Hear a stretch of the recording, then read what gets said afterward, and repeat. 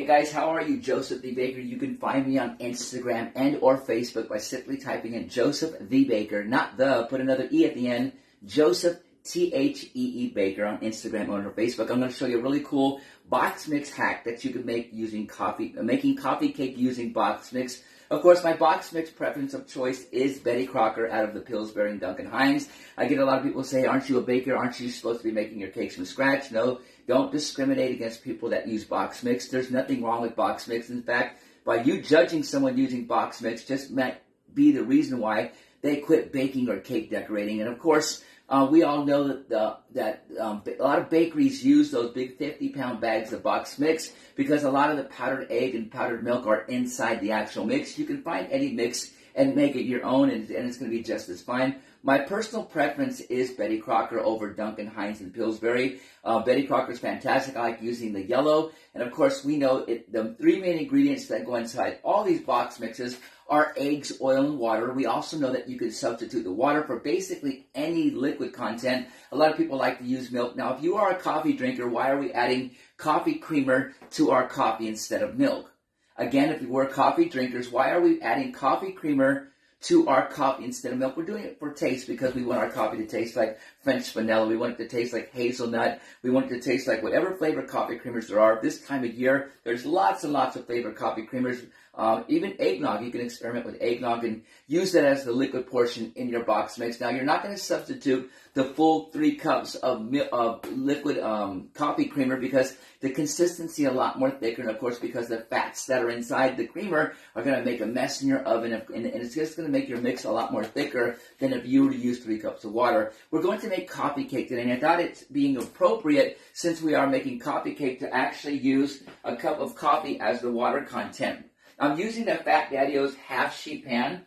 The Fat Daddio half sheet pan will do three boxes of cake mix, and of course, your type of pan has everything to do with your baking. All of my pans are Fat Daddio pans. It's the anodized metals that are inside these pans that help not only keep it color but help with the baking, and it's just uh, it's just the best pan to use. Again, you can find these supplies I'm using and these pans at Baker's Bodega Express in Baldwin Park. Again, Baker's Bodega Express in Baldwin Park. No business license needed to shop. And of course, they are shipping all over the United States and parts of Canada. We're using the half sheet pan. The half sheet pan will do three boxes of cake mix. So since we're making three boxes of cake mix, that means we're using three cups of liquid, nine eggs, and a cup and a half of oil. Now I went ahead and made a cup of coffee.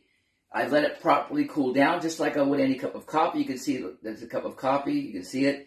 Um, we're going to go and start measuring out the three cups that we need. A cup of coffee, and we're, again, we're substituting the water content for three cups of coffee. There's one. Count with me. There's two. And here's three. You could smell the coffee. You could smell the hazelnut and everything that's in the coffee. It smells really good. So that's our water content. Again, instead of using three cups of water, we are making coffee cake. It's appropriate we use a coffee. We're going to go ahead and follow it with our cup and a half of oil because it is three boxes. That's a half a cup three different times. And we are using nine eggs. The type, the size of eggs also matters. Size matters. Uh, you want to, I like using the medium eggs because if you're going to use nine extra large eggs, it just makes your liquid portion a little more, um, uh, you know, a little more liquid and of course not so firm. It takes your cake mix longer to bake. We're going to put the three bags of cake mix inside this. Again, we are using Betty Crocker yellow cake mix. We are following the directions on the box that with the ingredients for three boxes, except we're just substituting the, the water content for three cups of coffee, again being appropriate since we are making coffee cake. I get questions asked, how come you like using the whisk instead of the paddle? I do like those air pockets that you find inside the cake mix. I like it kind of spongy, so I like using the whisk instead of the paddle. The paddle makes it more dense. Um, it's your preference, whatever you use. And again, especially because I'm making coffee cake, I like those air pockets inside. Now we're gonna make a peanut butter and jelly coffee cake. You're like, wait, what? Peanut butter jelly, peanut butter jelly. Peanut butter and jelly coffee cake. That was almost a flawless demo, but this is going to continue it. Peanut butter and jelly coffee cake. How do you make peanut butter and jelly coffee cake? Jolly again. Ah, peanut butter. Let's, you know what, screw it. Peanut butter and jolly coffee cake. Let's go ahead and start with the cake mix. We're going to go ahead and put a good heaping scoop of peanut butter in the actual mix. Now, what this is going to do is going to help keep your cake a little more moist because it's the same thing as if you were if you were adding butter instead of oil to your cake mix, but we're adding both. Now butter is very very strong, just like bananas. You can only you can put two tablespoons in this mix, and you're going to get that taste of, of, of peanut butter or even a chunk of banana to make banana cake. Mixing them, they're really really good. It's going to give it kind of a dark color. Kind of scrape the edges a little bit. Bring it down. Yeah, you could smell you could smell the hazelnut creamer from the coffee creamer, and you can smell the actual peanut butter. It smells good. It smells really, really good. Let's taste it. Mmm. Mmm, mmm, mmm, mmm, mmm. Smells really, really good. That smells amazing.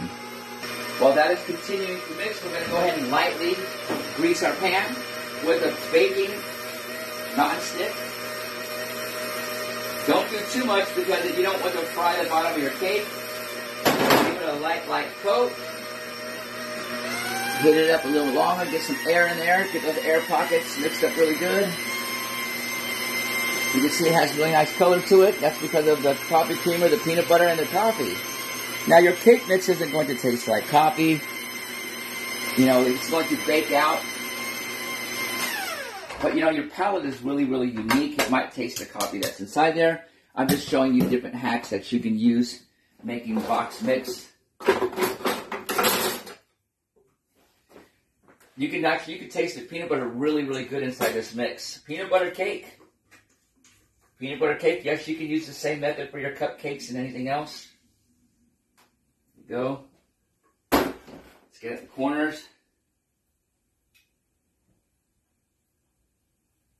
Get it in the corners, really good. Now, how do we make it peanut butter and jelly? Let me show you. We're going to use the 50-50 brand fruit fillings you can get from Baker's Bodega Express. You can use the strawberry or raspberry. This particular one, we will use the strawberry. We're going to just put a couple lines inside the cake. Just like that. Peanut butter, jelly. Now we're going to add our streusel topping that we made earlier. This streusel recipe I've given several times on my social media. This is really, really good. Grab the container of streusel. Make sure you cover the whole pan. That one part of the pan that you don't cover, the cake is actually going to bake up and over it. Make sure you get the corners really, really good. You don't need a lot of streusel just to kind of cover the top.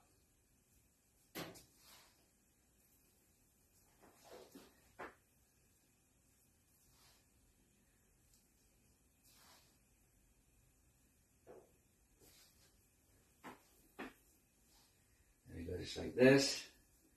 Now we're going to go ahead and grab our dough knife. Start from the middle. Really pack the corners really, really good. Pack those corners really, really good.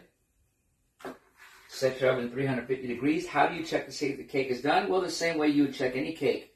Um, you want to kind of lightly get a, a, a, stick. I like using a chopstick and sawing a little hole through the middle and pushing it through and making sure that the cake is done. Making sure your stick doesn't hit the liquid jam and you're pulling it up and it looks like it's moist. Once your cake is properly done, you want to cover it right away with foil. If you don't, that streusel is going to bind itself together and become firm and you're not going to be able to cut it. Again, once your coffee cake is completely done, cover it with foil right away. Let it cool for about 30 minutes. Remove the foil. It's going to hit the top of the foil at heat, make moisture, soften up your streusel enough for you to go ahead and cut perfectly good slices. You can cut this into 24 good slices. It's going to be fantastic. Your end product, your end result is going to look just like this.